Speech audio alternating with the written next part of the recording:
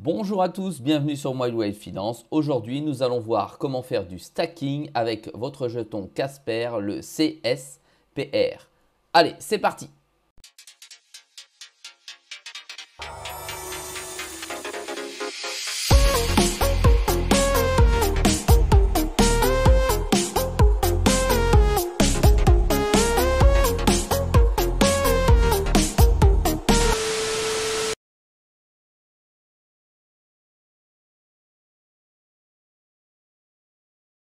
Très bien, dans un premier temps, naturellement, il vous faut du jeton CSPR, qui est un jeton euh, de la blockchain Casper, qui est un Layer 1.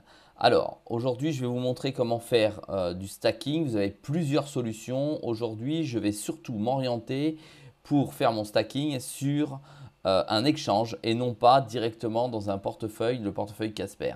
Je vais donc vous proposer de stacker votre CSPR sur l'exchange Ascendex. Voilà, tout simplement parce que c'est possible. On peut le voir ici avec le euh, CSPR euh, qui se trouve ici en portefeuille et le CSPR qui se trouve ici déjà en stacking. Il y en a 1169. Alors, je vais commencer par virer des jetons CSPR sur mon wallet Ascendex. C'est parti.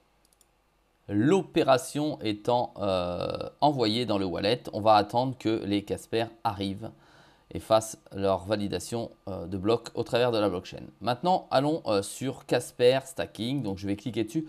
C'est à peu près la même chose que partout, hein, le, le, montant du earn. Donc, voilà. Là, aujourd'hui, on est à 9,44. Euh, ici sur le tableau de bord, je vais donc déposer en flexible. Ça veut dire que ceux-ci ne seront pas bloqués sur euh, le système euh, Ascendex. Je vais faire de l'auto-campoon. Voilà, j'ai cette possibilité soit d'annuler les, gains de stacking qui m'arrivent, c'est-à-dire les rewards, faire en sorte qu'ils reviennent régulièrement. Et là, je vais les réinvestir automatiquement. Donc, je valide cette fonction-là. On voit qu'ici, il me faut minimum 1000 euh, CSPR pour pouvoir euh, avoir l'autorisation de faire du stacking non bloqué. Et ensuite, j'aurai simplement qu'à cliquer ici pour pouvoir euh, déposer mes CSPR. Allez, on va commencer tout de suite et on va voir si ceux-ci sont arrivés au sein du portefeuille. Alors, on va réactualiser tout simplement. Voilà. Et on va voir si ceux-là sont arrivés à l'intérieur du portefeuille. Toujours pas, on va attendre quelques secondes. Allez, voici les euh, CSPR qui sont donc arrivés. Je vais donc sur Earn. Earn ici, j'ai mon montant 1979,7 CSPR. Je vais mettre le maximum puisque je peux en mettre que 1000. 100%. Euh, l'estimation avec 9,44. Je vous rappelle que le montant n'est pas du tout fixe, hein, il fluctue. Hein. C'est euh, un IPA, mais euh, donc il, se modifie puisque le stacking peut aller de, 8 à 12-13% des fois. Donc 9,44, euh, j'en aurai 186, ce qui va permettre d'éviter de trop perdre sur l'érosion. Voilà, je clique ici, j'ai les conditions si je le souhaite, je confirme tout simplement en cliquant sur le bouton confirmer comme ceci.